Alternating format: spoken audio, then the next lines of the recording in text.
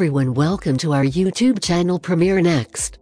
In this video, you are going to get all information related to Children of Silentown game updates. About this game the point-and-click adventure game Children of Silentown tells a captivating and enigmatic tale. Discover the town's perilous surroundings, meet its eccentric residents, work out puzzles, and master minigames. Join Lucy and her friends in this gloomy, exquisitely hand-drawn adventure game created by Little Briar Rose's designers in association with Luna 2 Studio. Like other children, Lucy is terrified of the forest because the reverberating roars keep her from sleeping every night. Even her dreams are not a secure environment for her to play. In the village, it happens frequently for people to vanish, but this time, Lucy is old enough to look into it on her own. Or so she believes.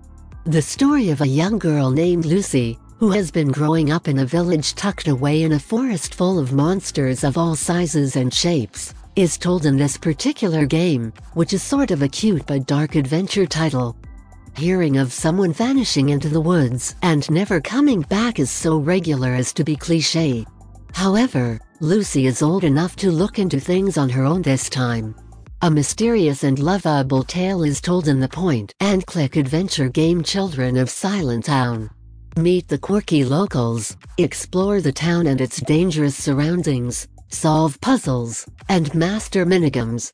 Accompany Lucy on her adventure to get to the bottom of what is haunting this strange silent town. If you dare. Look around Silentown for hints, but be careful not to go into the forest. A distinctive, frightening 2D art style appropriate for an enigmatic, gloomy story. Lucy will benefit from learning to sing when she needs it since music is important. Items can be combined to produce wildly unexpected results. Lots of oddball folks to talk to. Before they leave, be polite to them. Play little games with the neighborhood kids.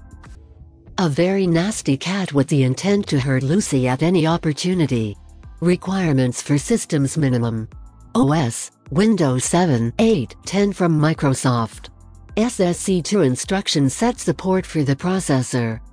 2 GB of RAM in memory. Any DX10 capable graphics card. 10th version of DirectX. Storage, 1 GB of space is available recommended. OS, Windows 7, 8, 10 from Microsoft. 2.4 GHz processor that supports the SSE2 instruction set. RAM memory, 4 GB. Any DX10 capable graphics card. 10th version of DirectX.